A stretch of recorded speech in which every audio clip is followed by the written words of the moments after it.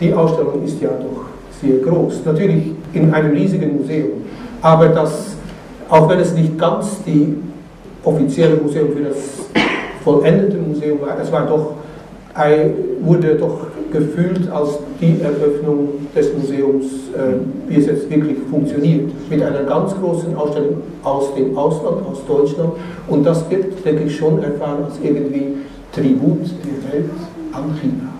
Und der Direktor des Museums, äh, Liu Jiangshen, hat das auch, sagt das immer wieder mit, mit großem Gusto, wie die Länder der Welt Schlange stehen, um in seinem Museum in China ihre Kunst zu zeigen als Tribut. Was soll, was soll, er auch sonst sagen?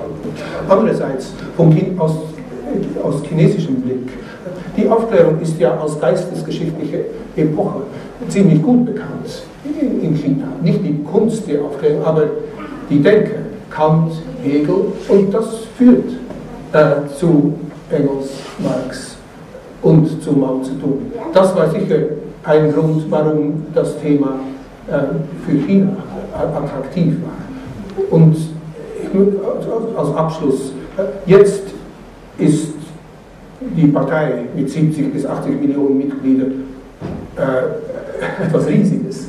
Äh, sicher nicht monolithisch, aber etwas Riesiges. Aber die, die, die Anfänge der kommunistischen Bewegung China, das hat natürlich etwas Romantisches. Das, hat auch, das, das benutzt die Partei jetzt auch für ihre Legitimation. Die Bewegung des 4. Mai, die Studenten 1919, die eben erstmals äh, diese europäische Gedankenwelt kennenlernte, auch großteils aus der Zeit der Aufklärung, Chen Tuxiu, Lu Xun, Zhou Zuren, ähm,